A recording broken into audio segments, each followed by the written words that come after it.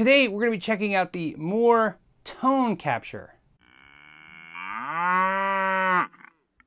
This pedal is a pedal that they came out with that has seven presets. It's an EQ pedal that can be buffered or true bypass, you can select, and it captures different guitar pickups. This is a similar concept to mimicking uh, amplifiers or speakers. And how it does this is very simple. So what I'm going to do is capture a few guitars, show you the process, and then let you be the judge of how it sounds. Now for this recording, to keep it as pretty consistent as possible, I'm using a Zoom H5. I am not going to be editing the uh, file in post. I'm going to be just uploading the file SD card the way it sits. This is just what the unit uh, captured off the Princeton amplifier. And let's go through. I'm going to be using only the clean channel because again, we're trying to hear the pickups and sometimes distortion can really mess it up. The only thing that's worth noting is if you capture a humbucker pickup and put it on a single coil guitar, regardless of whether it sounds like single coils or not, if the guitar is single coil and it has a buzz, a 60 cycle hum, it hums. So let's go ahead and capture this Parker. We're gonna capture the acoustic sound in this. And we're gonna do it really simply. You just go ahead and turn on the pedal select the preset, which we're going to do number one, push down the button so it flashes, and just start playing. They ask you in the manual to play just as much as you can. You can play scales or chords, it doesn't matter.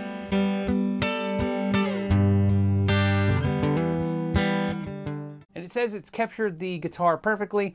So let's go ahead and now take the source guitar. And what they mean is for this unit to work, you have to capture the guitar you're going to be using. For this situation, I'm going to pretend that I'm using this PRS S2 semi-hollow with flat wound strings as my gigging guitar, and I want an acoustic sound during the set. So I've captured my Parker, which I like their acoustic sound. And what we'll do is push the button one more time the light will go blue so it knows we're ready to capture this guitar. Go ahead and push the plunger down.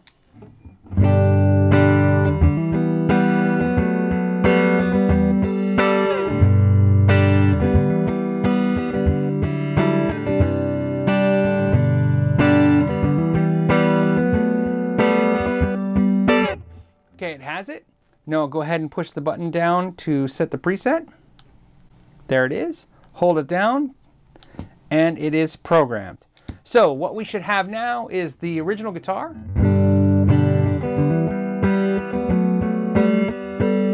And the capture guitar. And of course, it's overloading. You can hear it's really distorted. You have controls on this. This is an EQ pedal, which is important to remember. It has a three band EQ plus a mid shift control. I'm gonna turn the volume down. One thing to remember is that when you turn the knobs, they're not actually where they say they are, they're where they were are presetted to be. So in other words, when you turn them, what feels dramatic is because if it says it's at three, it might be actually be at seven. So as soon as you move it, it jumps to seven and vice versa. Once you've set it, I'm going to give it a little bit more high frequencies. Reduce the volume just a little bit and then go ahead and save that by holding down the button. It's saved. And same thing, here's the source guitar. This is the actual PRS you're playing.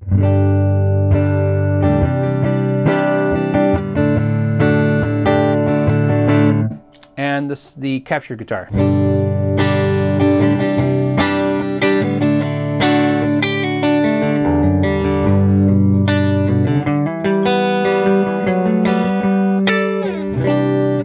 Think if you keep messing with the EQ controls, so again, let's try the original guitar. And the capture guitar.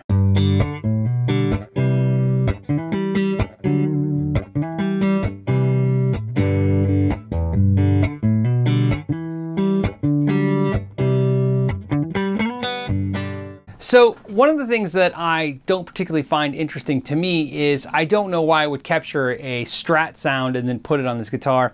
Most of the time you're going to have a coil split. If I wanted this guitar to sound like a strat, I would just go ahead and hit the coil split.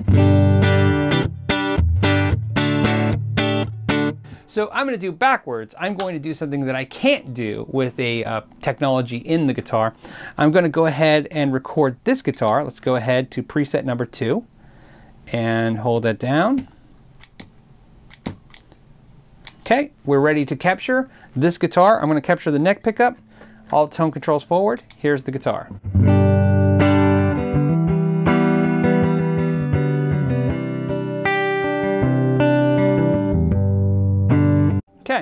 Now we'll switch to the blue light and it's time to put this guitar's tone into another guitar. So now what we'll do is capture this guitar sound.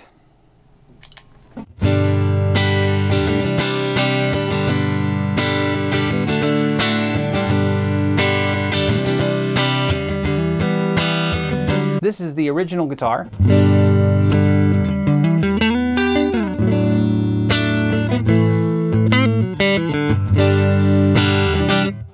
This is the captured PRS S2.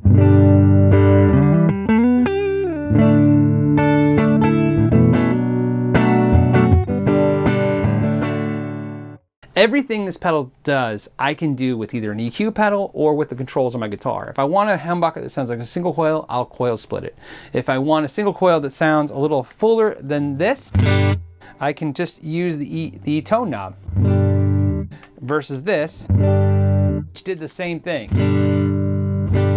If you think you might have a need for a pedal on your pedal board that mimics different styles of guitars, and that's the important part of this, you can't copy where this is much different than, let's say, an impulse response, a speaker, where you can hear the difference between a Celestion and, let's say, a, a, a Jensen. This, I can't hear the difference between, let's say, a lipstick pickup and a regular single coil, or a 50s single coil, or a 60s, or a high output single coil. I couldn't even hear the difference between a low output humbucker and a high output humbucker. It just mimics the most obvious characteristic of the of the sound. In other words, if it's muffly, it's muffly. If it's bright, it's bright. It just mimics the basics. This is a very basic uh, pedal into the market. Keep in mind this is the first of its kind in this concept, and so you would imagine it, you can't you can't ask for everything, especially at the price point that Mooer's provided. The reason I just say it like that is because I want you to be aware. If you're looking for a pedal to get rid of a bunch of guitars, this will get rid of no guitars. You wouldn't want to record in the studio with this because of the fact that it doesn't mimic the guitars enough. Where this would uh, help you a lot is if you were doing a lot of songs or a lot of styles of music and a lot of different guitars. Not only does it capture it, which means you'll generally have an, a, an idea of where your, your guitar sounds are coming from. You'll be able to tweak it with the EQ pedal. And to be honest with you, without even capturing, I was able to just get most of the sounds just by adjusting the EQ pedal. As an EQ pedal, it's a really good pedal. In fact, one of the best EQ pedals I've seen on the market. And having this extra stuff into it is kind of a cool feature. One of the drawbacks of the pedal is to go through your presets, you have to push the button, which means you'll have to bend over and do it in between songs, which isn't a deal breaker, but it would be a really nice if you could actually switch between these while you're in a song. That would be cool to go from, let's say, your one style of pickup to another for a solo. I hope I answered all the questions you might possibly have on this pedal. It was really interesting to check it out. I want to thank the Mooer guys for sending it to me um, and uh, let them know that overall I was pretty impressed with the pedal, although those are the shortcomings I mentioned. Other than that, I want to thank you guys so much for spending your time with me. And until next time, know your gear. I'm with Mize, and he's going to tell you officially how to say more and it's Chinese for magic ear.